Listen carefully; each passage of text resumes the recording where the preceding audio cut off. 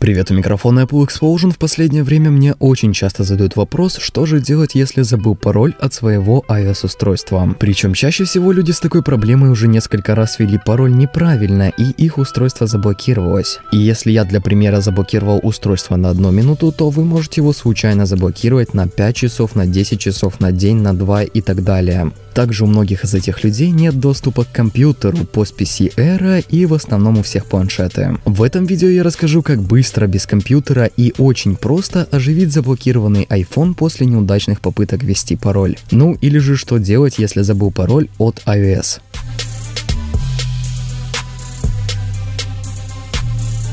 Если iPhone заблокирован паролем, на нем включена функция найти iPhone и он подключен к интернету, напомню, что подключение к известным сетям происходит автоматически. Сбросить пароль блокировки можно в iCloud на любом устройстве с доступом в интернет. Будь то Android устройство или тот же iPad, неважно. Но есть одно но. У вас должна быть копия в iCloud. Если нет копии в облаке, то без компьютера не обойтись. В общем, если облачная копия отсутствует, то перед процедурой делаем копию в iTunes. Понятное дело, что вы не сможете проверить наличие всех этих пунктов, ведь ваше устройство заблокировано, тут я уже помочь не могу. Нужно было об этом заботиться раньше или рассчитывать на свою память. Но я более чем уверен, что у большинства из вас все настроено правильно. Заходим на iCloud.com и вводим Apple ID, к которому привязано заблокированное устройство. Убедитесь, что на сайте iCloud в веб-приложении «Найти iPhone» в меню «Все устройства» рядом с названием вашего аппарата отображается иконка статуса «Онлайн» или же окружность зеленого цвета. В меню «Все устройства» щелкните на название создания девайса под паролем. Нажмите кнопку «Стереть iPhone» или же iPad, iPod, Mac, все зависит от вашего устройства. И подтвердите запрос в всплывающем окне, щелкнув на «Стереть». Введите пароль к вашему Apple ID, номер телефона и текстовое сообщение можно опустить. Щелкните на «Готово». Начинается стирание устройства, его дисплей погаснет, а затем появится логотип Apple и строка состояния. Дождитесь окончания процесса. После восстановления или стирания устройства в iCloud необходимо выполнить его первоначальную настройку. Тут ничего сложного, вводим то, что нас просят, например, страну или свой Apple ID. Далее тут я нажал на кнопку «Настроить как новый iPhone», но вы нажимаете «Восстановить данные из резервной копии». И уже выбираем вариант, если у вас есть копия в iTunes и компьютер, то жмем «Восстановить из iTunes». Если же доступа к компьютеру у вас нет, но есть копия в iCloud, то жмем «Восстановить из iCloud». Если уже у вас нет ни копии на компьютере, ни копии в iCloud, то настраивайте устройство как новое, но, к сожалению, вы потеряете все данные. После того, как пройдет восстановление обновления всех данных запроса на ввод пароля блокировки не будет. На этапе настройки его можно задать заново. Если вы все сделали правильно, то ничего с вашего устройства не удалится. Надеюсь, вам помогло мое видео. Я хочу сделать канал более интерактивным. Помимо того, что я стараюсь отвечать на все комментарии и сообщения в социальных сетях, я буду делать видео решения проблем, которые возникнут у вас с яблочными устройствами. Давайте так, пишите свою проблему в комментариях, описывайте все детально и правильно. О решении проблемы, которая наберет больше больше всего лайков, расскажу в следующем видео. Более того, автор такого комментария попадет в выпуск. Но если вы очень креативный, то вы можете записать видео, в котором описываете свою проблему. Присылайте свои ролики ко мне на почту, вы ее видите на экране. Ну а на этом все. Обязательно подпишитесь на канал, ведь тут много полезного и качественного контента. Также ставьте лайк, это действительно мотивирует к созданию новых видео. Ну и конечно же заходите в наши социальные сети. Последние новости, обзоры, информация о технике, играх и других гик темах. Все это можно увидеть в моем твиттере и группе ВКонтакте. Причем веду я их 24 часа в сутки. Ну и конечно делитесь этим видео с друзьями, у которых появилась такая проблема. Я думаю этот ролик им поможет. Думайте иначе.